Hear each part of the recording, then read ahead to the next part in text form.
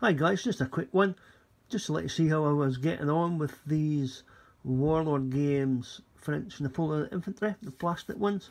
Uh, as I mentioned before, these are the, the spare ones that I had left over from after doing the Polish Vistula Legion set. And uh, yeah, I just paint them up and I'm going to stick them on eBay. Raise some funds for some other goodies. And uh, so yeah, there's the first six done. I think I just started these in the last video, the the grenadiers and the bear skins.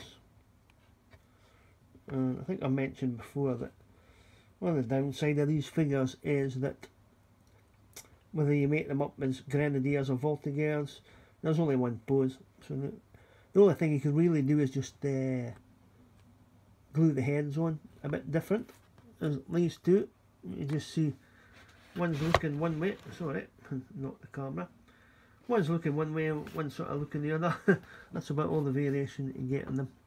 Uh, so, that's that two guys anyway, all done. And then we've got the four four centre company guys here.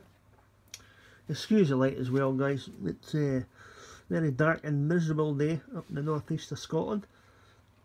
So we've got some a lot of artificial light in the room today. so it might look a bit bright in some bits, but uh, yeah, so that's them. I'll just give a little turn around. I said the good thing about these guys, I think I maybe mentioned before, is that you get some little, you know, in the backpack, the guy's got a pot there, the guy's got a metal cup. Uh, got some vegetables as well there with that guys. I'll show you the back of the grenadiers as well. So that's a box of them as well guys. So, so that's the first six done. I've got another eight to go. Uh, these guys, these first six, these are on uh, eBay now. So yeah, I'll see how we get on with them. I said they've been quite quick to paint these guys up, so not too bad. Before I get stuck into my uh, French Hussars and then on the American Civil War box set. Right, okay guys, we'll leave it there. I say it was just a quick update and let's see how I was getting on with these guys. So that's the first six done.